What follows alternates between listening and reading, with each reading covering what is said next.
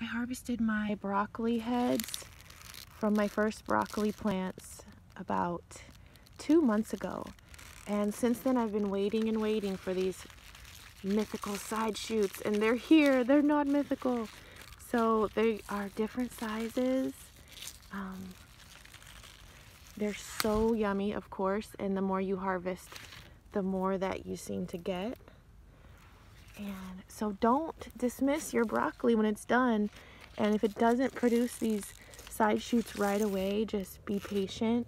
Um, and side note, these leaves are so good. I've been juicing them, but they're so tender. I bet they would be good just cooked in a stir fry. So good.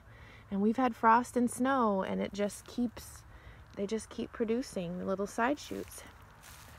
So don't give up on your broccoli.